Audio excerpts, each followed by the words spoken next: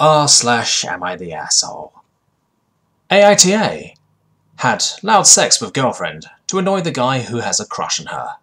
Judgment, probably fake, and not safe for work. My girlfriend, Dee, and I have been together for three months. I'm Caucasian and she is of Chinese descent. This is relevant later.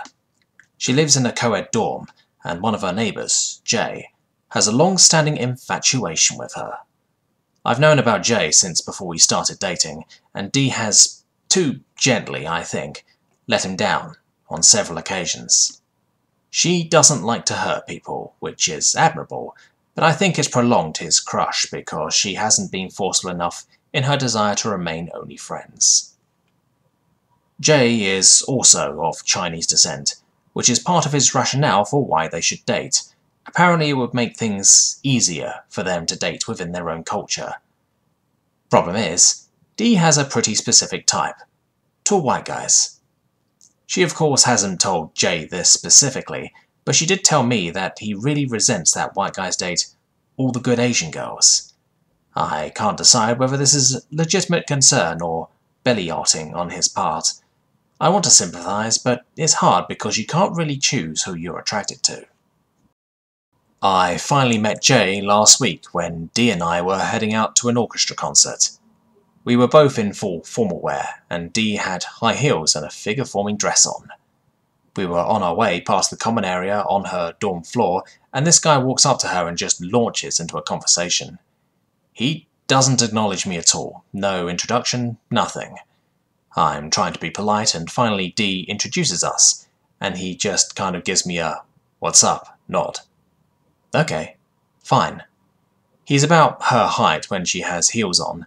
It's obvious this guy really is not her type, so I'm not feeling threatened.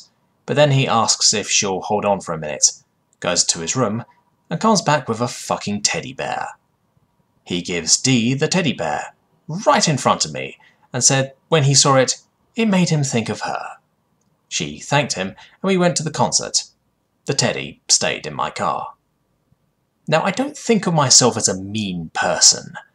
Most people who know me would find meanness not in my character. But all during that concert, all I could think of was making Jay suffer.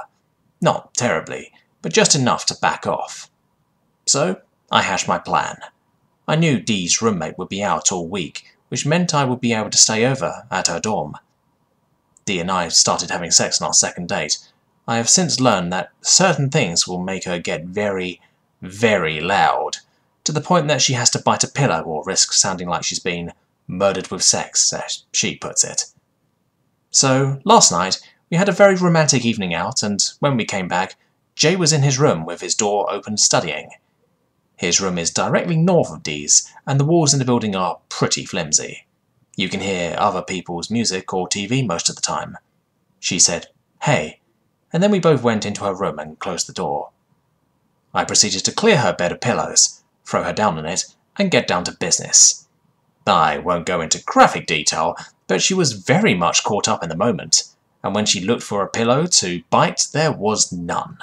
So she just let it all out, for like 15 or 20 minutes. At this point, we're both giddy, and then it hits her. Jay was next door and she guessed he could hear everything.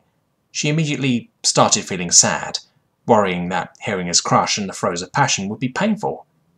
I suggest that maybe that's something he needs to hear in order to make it clear he will never, ever be considered a sexual option for her. This made her even sadder, and she started to go on about what a great person he was, how he is really very kind and would make someone very happy, etc. She starts to get pissed off at me and saying I'm being mean. I tell her I'm sorry, she's right, and leave to go to the shared men's room down the hall. I walk past the common area and see Jay. He's just staring at me with the most intense look of pure burning hatred.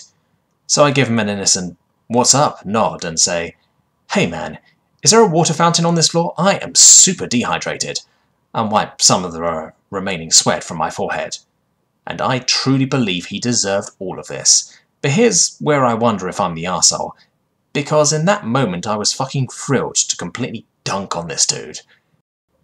And that scared me a little, knowing there's some dormant, primal part of me that just wants to be king. Jay, for his part, never did tell me where the water fountain was.